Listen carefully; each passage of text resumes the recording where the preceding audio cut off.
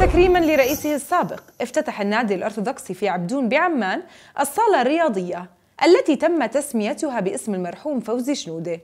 حضر الاحتفال الأيكونومست الدكتور إبراهيم دبور ورئيسه وأعضاء الهيئة الإدارية للنادي وعائلة وأصدقاء المرحوم شنودة. وألقى رئيس النادي الأستاذ إيليا وكيلة كلمة أشاد فيها بمناقب الفقيد وقرار هيئة النادي بالموافقة على تسمية الصالة باسمه تقديرا لجهوده وخدماته طوال الفترة السابقة. كما ألقت زوجة المرحوم السيدة نهى شنودة كلمة شكرت فيها النادي على مبادرته بهذا التكريم وقرار تسمية الصالة باسم المرحوم شنودة. وخلال الاحتفال شهد الحضور عرضا لفيلم يوثق حياة ومسيرة الفقيد. حقيقة أنه فوزي كان يعني روحه وعقله النادي آه، يخدمه بعينيه آه، يجي مفروض بالنهار إن ما أجاش مرتين يجي ثلاثة. لازم يجي يتفقد المرافق المسابح المطابخ القاعات الملاعب ما يخلي إشي. فكان كأنه بيته شاعر إنه بيته. يخدمه بكل إخلاص بكل محبة وبكل النشاطات كلها لازم يحضرها. من نشاطات رياضية باسكت بول سباحة كذا كله كان فكان يعتبره إنه بيته الثاني. ويقضي فيه بجوز قد بيت البيت عندنا أو أكثر شوي كمان. وهو رئيس للنادي. آه توعك شوي. وبطل يقدر يجي يعني اجى عدة مرات بس بعدها ما قدر يجي. بس ضله روحه وعقله معلق بالنادي. فعشان هيك آه كنا حابين إنه آه يضل اسمه على مرفق من مرافق النادي. والنادي الهيئة الإدارية برئاسة الأخ إيليا كرموه أنه بإطلاق اسمه على الأورثو جيم اللي هو مرفق كبير ومهم وعند مدخل النادي. إن شاء الله الله يعطينا الصحة ونقدر نتابع مسيرته ونخدم. يعني أنا والبنات والنسايب والأحفاد كلهم. لأنه هذا زي ما حكى أبونا أنه النادي ملك للكل لكل الوطن. بغض النظر لا في دين ولا سياسة ولا لكل الوطن. أنا بالتالي بشكر نور سات الأردن اللي دايما سباقة إنها تغطي هيك أحداث. فوزي كان من أول الداعمين إلها وكان يحب نور سات الأردن وكان يدعيهم لاحتفالات عيد الصليب زي الفيلم اللي حطوه. فإن شاء الله الله يقويكم وتضلوا ماشيين إلى الأمام برئاسة السيدة باسمة.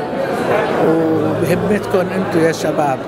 يخلي لنا إياكم. المرحوم فوزي شنودة كان من كبار المؤسسين في النادي الأرثوذكسي وبدأ من 1957 في النادي الأرثوذكسي.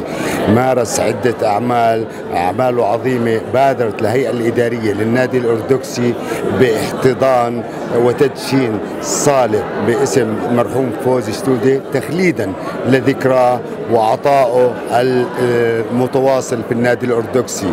وكان من أعضاء الهيئة الإدارية منذ عام 1998 وتقلد عدة مناصب منها أمين الصندوق الفخري ورئيس لجنة العضوية ورئيس اللجنة المالية وبعدها حتى أصبح نائب الرئيس في عام 2004 وفي عام 2011 قدم الكثير الكثير حتى عام 2015 من خلال توليه منصب الرئيس للنادي الأرثوذكسي وأعطى الكثير ثم استراح لطبيعة النظام الداخلي للنادي الأرثوذكسي وعاد مرة أخرى في عام 2018 رئيسا للنادي وظل حتى مماته عام 2020 بالفعل هو قدم الكثير الكثير وإنجازاته عظيمة في النادي وخارج النادي في كامل الجمعيات الأرثوذكسية وبالذات بناؤه لكنيسة النبي إيليا والقديسة بربرة في أبو نصير يعني ما رح أحكي عن أستاذ فوزي لأنه كان كثير يحب النورسات. كان دائما يدعي النورسات لكل الاحتفالات اللي بتصير بالنادي الأرثوذكسي الاحتفالات المسيحية إضاءة شجرة ميلاد احتفال عيد الصليب وكان كثير يعتز يعني كثير يفتخر بهالمحطة المسيحية ودائما يقول إنها منارة لكل المسيحيين الموجودين بالأردن وبالشرق العربي لأنها بتنقل كلمة ربنا لكل العالم. بتعطي السلام والأمان المحبة تطرح مواضيع جدا رائعة ومهمة لكل المسيحيين ولكل العالم. أنا هون بس بدي أشكر النادي الأرثوذكسي لأنه كرمت آه، إنسان آمن بالعمل التطوعي. لما نقول العمل التطوعي يعني إنسان عم بيعطي من وقته بيعطي من خبرته بيعطي من آه، محبته. لهالصرح اللي بعتبره صرح مسيحي عربي مشرقي. صرح يعني له تاريخ طويل في المملكة الأردنية الهاشمية. خدم كثير وخدم المسيحيين وظل منارة عبر هاي السنين لكل المسيحيين ولكل الوطن الأردن.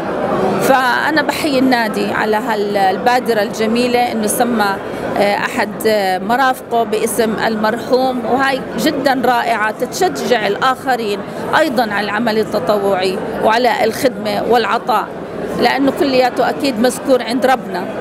فأنا بشكر هالعائلة الكريمة اللي أعطت وأعطت من ما وهبها الله من نعم وخيرات لخدمة المجتمع. وما شاء الله يعني شفنا اولاده وشفنا أحفاده وشفنا عائلته الكريمة اللي هذا الإرث اللي بيتركه الإنسان بعد ما ماتوا. فربنا يباركهم ويبارك هذا الصرح ويضل آه، منارة في وسط العاصمة عمان. وشكرا